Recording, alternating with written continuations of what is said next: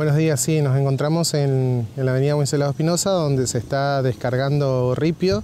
Se continúa con un trabajo que quedó pendiente, que ya se habían hecho en su momento dos cuadras y ahora estamos haciendo lo que es entre Cuenca y Acacias. Eh, y se va a continuar con esto hasta llegar hasta la, avenida La Plata.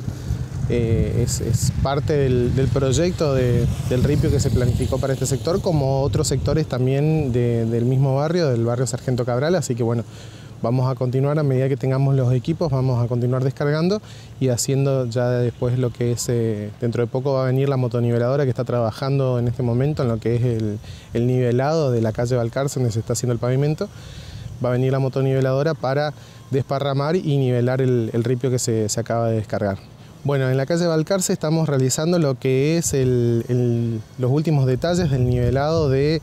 eh, la cuadra con la que se va a seguir con el pavimento. Se terminó con las alcantarillas, que era algo muy importante que se tenía que realizar, en la alcantarilla en la esquina de Iberlucea y Valcarce, donde se colocaron tubos de 80 de la mano oeste y tubos de 60 en la mano este para eh, darle drenaje hacia el sur al, agua que por ahí venga desde, desde el norte por calle Iberlucea. Y después tenemos lo que es la retropala y lo que es eh, un camión volcador donde estamos sacando el excedente del ripio y de tierra que está teniendo, eh, que se está sacando de esa calle y se está volcando, ya se volcó una parte ayer en lo que es calle Santa María de Oro entre Uruguay y Moreno y hoy se está haciendo el mismo trabajo en eh, calle Berlucea entre Valcarce y 9 de Julio. Se están rellenando las calles ahí de, de, la vuelta, que son, son calles bajas, para eh, calles de tierra, para, para poder tener de esta manera nivelado y eh, hacerlo mucho más rápido al trabajo y no estar trasladándolo a otro, a otro sector. Si Dios quiere y el tiempo nos acompaña, tenemos planificado mañana estar colocando el hormigón, eh, en, si Dios quiere, por, por, la mañana, cerca del mediodía, y si no va a ser a primera hora de la tarde donde se va a estar colocando el hormigón, comenzando desde Iberlucea hacia, hacia Santa María de Oro. Y bueno, ya estimamos que si el tiempo nos acompaña, antes de fin de mes vamos a estar terminando esas cuadras para continuar con, los trabajos que se tienen planificados. Se continúa con el coneteo, se continúa eh, en, lo que es la avenida Italia eh, y Falucho, la Rawson llegó hasta esa esquina y ahora se está continuando con ese trabajo ahí en, ese lugar. Eh, para continuar derivando el,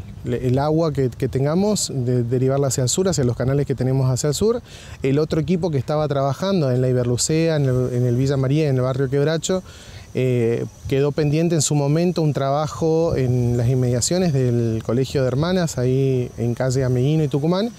Como son dos cuadras eh, y aprovechando que el clima está acompañando, se fue a terminar ese trabajo para dejar esa zona terminada y después se continuaría con lo que es el, barrio Quebracho, que también quedó eh, un poco para terminar ahí, y el Villa María que también se estaría terminando. Una vez que se termine en ese sector, se va a continuar en otros sectores donde estamos teniendo la necesidad de realizar cuneteo y también en lugares donde eh, próximamente va a estar trabajando la excavadora, que ahora está haciendo la limpieza del canal de la avenida Florencio Varela. Eh, eh, se estaría terminando, si Dios quiere, esta semana y ya la semana próxima estaría trabajando en otro sector de la ciudad para continuar con, estas tareas de, canalización, aprovechando el clima que estamos teniendo y de esta manera tener lo más limpio posible los canales para desagotar en, el caso de probabilidades de, posibles lluvias grandes que podamos llegar a tener. Con respecto a la recolección de residuos, estamos eh, teniendo inconvenientes por la falta de repuestos. Eh, sabemos que toda esta situación nos llevó a que haya fábricas que estén trabajando al 50% y no se consiguen por ahí los repuestos que necesitamos esto nos lleva por ahí a arreglar eh, con lo que tenemos a mano eh, los camiones, pero no es la solución eh, más óptima. Por esta razón es que está reducido la recolección de residuos, pero si Dios quiere en los próximos días ya vamos a estar trabajando por lo menos con